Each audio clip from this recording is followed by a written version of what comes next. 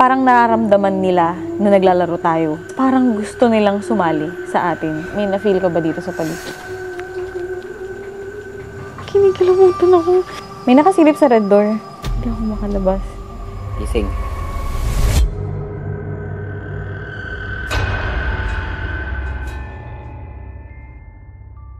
May mga laro na hindi dapat nilalaro ng basta-basta lang.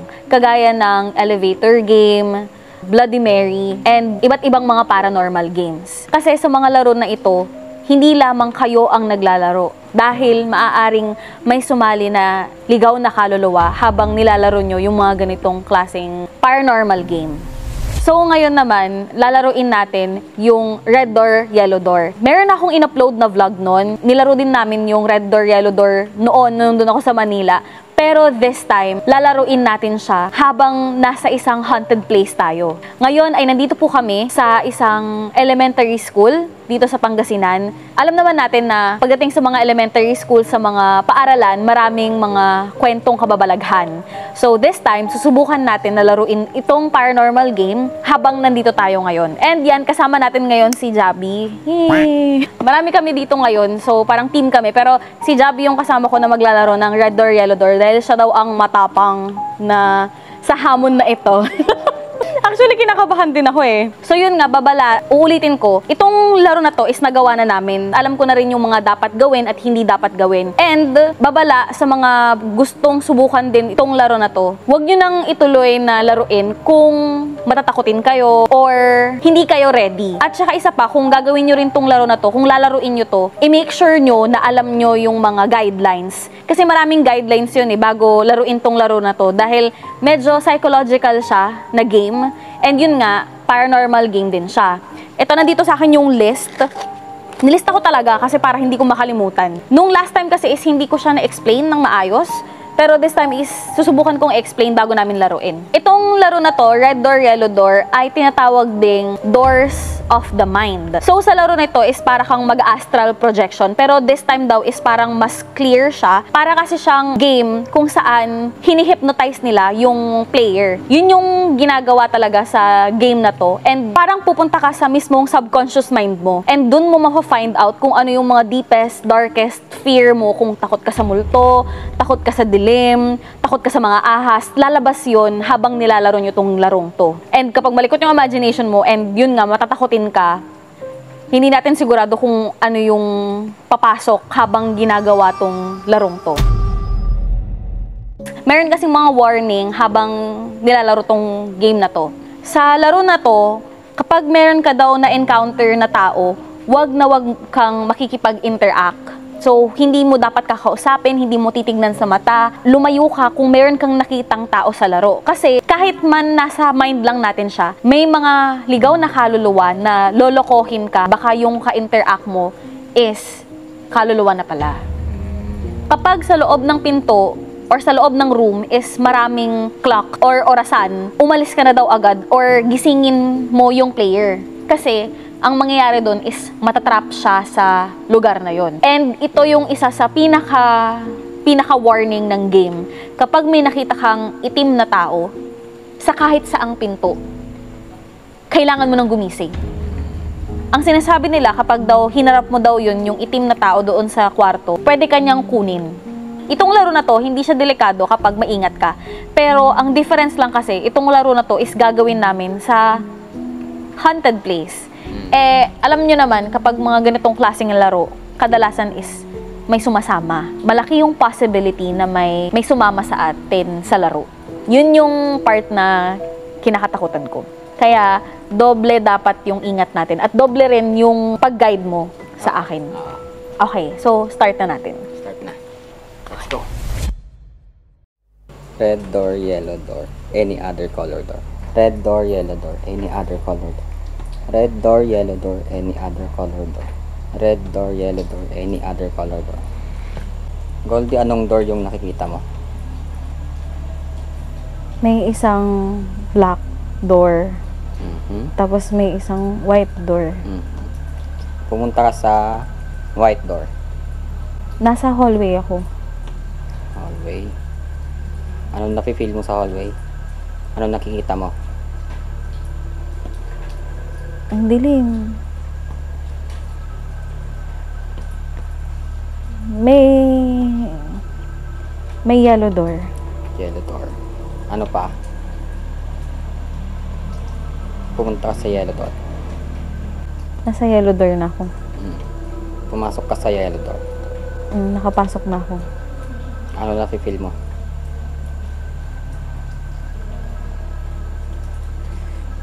Para siyang regular na room. Mhm. Pero meron siyang mga ano, teddy bear? Mhm. May white door. White door. Sige, pasok ka sa white door. Ang dilim, pero... Natatakot ako. May red door. May red door sa gilid. Tapatan mo nga yung red door. May nakasilip sa red door. Mm. Bumubukas yung red door unti-unti. Mhm. May babae. Mm. Huwag mong susundan. Mm. Kising. Ang likot ng utak ko. Tang na talaga.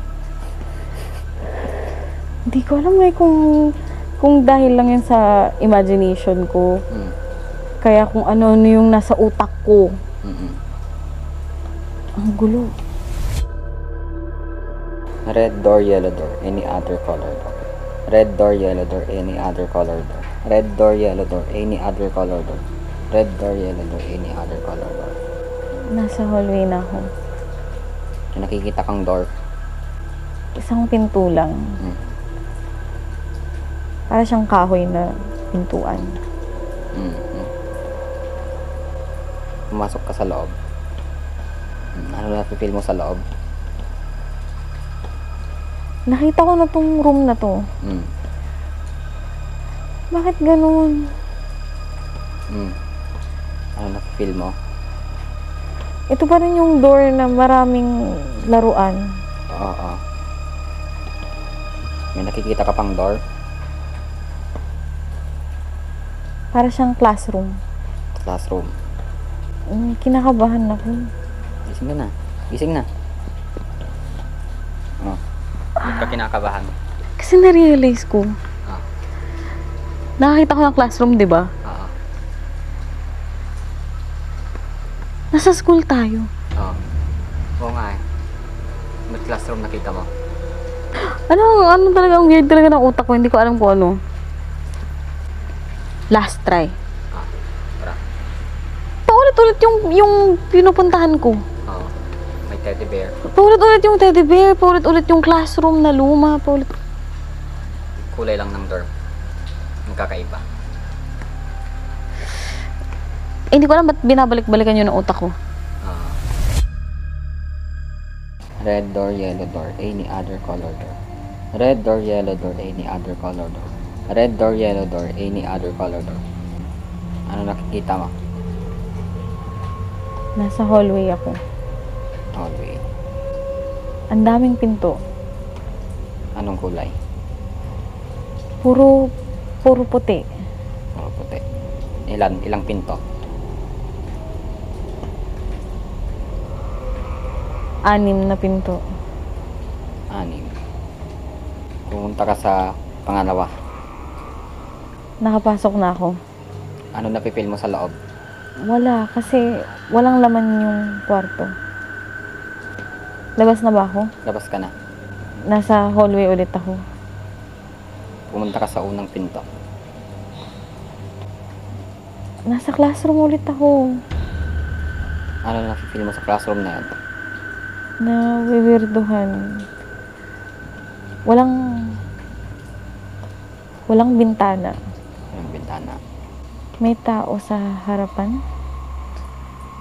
Lumabas ka na. Para siyang teacher. Hmm. Lumabas ka na. Lakad-lakad ka sa hallway. Pumunta ka sa ikaapat. Madaming upuan. Hmm. Ano napipil mo sa room na yon? Kinikilabutan ako. May... May mga estudyante. Estudyante. Marami. Hindi nila ako nakikita.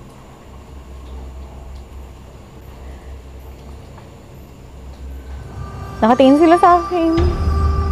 Lumabas ka na.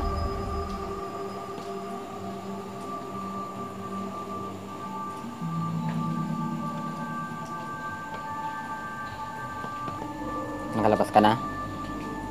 Hindi ako makalabas. Gising. Gising.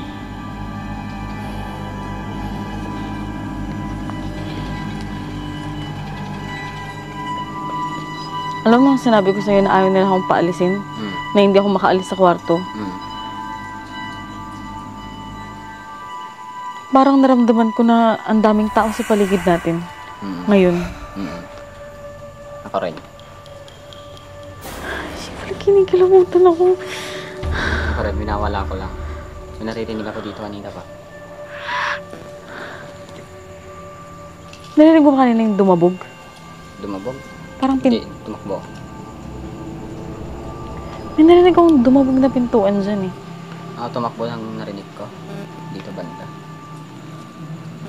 Tapos hindi ko alam kung anong nafe-feel ko. Bakit parang ang dami nakapalibot sa atin. Oo, parang. Yun din napipil ko eh. As in, wal, walang ano, walang biro. Kaya napatingin ako sa paligid ko. Kaya na pa ako na ano, kinikilabutan. Alam mo, feeling ko, dahil naglalaro tayo ng paranormal game, parang nararamdaman nila na naglalaro tayo. Tapos parang gusto nilang sumali sa atin. Kaya nung nakahiga ako kanina, parang feeling ko ang daming nanonood sa atin. Mm. Ang weird, ang weird kasi I, I mean, walang ano ah, alam alam ko, alam ko na parang ito, itong game na to is parang psychological. Parang nasa utak ko lang to. Yun yung tinatatak ko sa utak ko, hindi, hindi. Nilalaro ko lang yung utak ko. Nas, ako, ako lang to, imagination ko lang to. Pero iba yung na-feel ko nung last na game natin. Mm. Yung pangatlo. Oo. Kasi yung laro is hindi na siya nasa utak ko lang. Mm.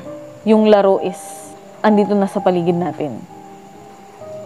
Siguro ngayon, ano, maraming maraming gustong sumali sa laro natin. Habang nilalaro natin yung laro, may na-feel ka ba dito sa paligid?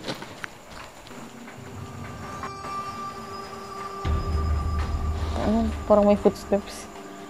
Oo. Narinig mo na? Habang naglalaro tayo, anong na-feel mo? Malapit lang sila eh. Na-feel mo ba? Ah, may tumatakbo dito sa likod ko. Ilang beses ko na narinig yun. Ang narinig ko talaga yung isa yung nag, parang may nagdabog ng pinto dito. Hindi ko alam kung saan dyan. Mm. Hindi ako natakot ng ganito nung naglaro kami ni Hana. Mm. Pero this time natakot ako.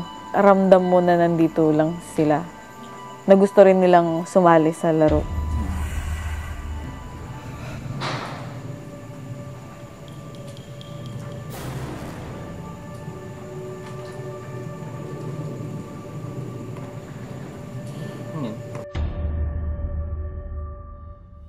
So yan, natapos na namin yung game. Siguro umabot kami ng mga at least 30 minutes na pinaulit-ulit yung laro. Kasi ako, hindi ako kampante talaga nung una. Kaya paulit-ulit din ako na ginigising. Pero yung third game talaga yung kinabahan ako. So yun, i- i-end na rin namin yung vlog dito. Uulitin ko ulit, lalo pa yung ginawa namin na dito kami naglaro sa Haunted Place kapag sakali man nagagawin nyo to. Pero hindi ko ina-advise eh. Like, mas maganda na lang na hindi nyo gawin kapag sa mga haunted places. Okay na to na panoorin nyo na lang. Pero wag nyo nang gawin. Kasi iba yung experience. Feeling ko naman safe kaming parehas. And yun nga, alam kong parehas kaming protected. So yun, kaya kung kayo, kung gagawin nyo man to, um, mag-ingat talaga kayo, doble ingat, lalo pa kapag outdoor nyo gagawin. Kasi kagaya ng experience namin dito, ramdam namin na hindi lang talaga kami yung naglalaro ng larong to. Thank you guys so much and salamat talaga sa pagsama sa amin sa another paranormal content. Ayan, so samahan nyo ako sa susunod pang mga contents and don't forget to share this video with your friends and subscribe to my channel for more horror contents and art contents. Thank you guys so much and I'll see you on my next video. Peace.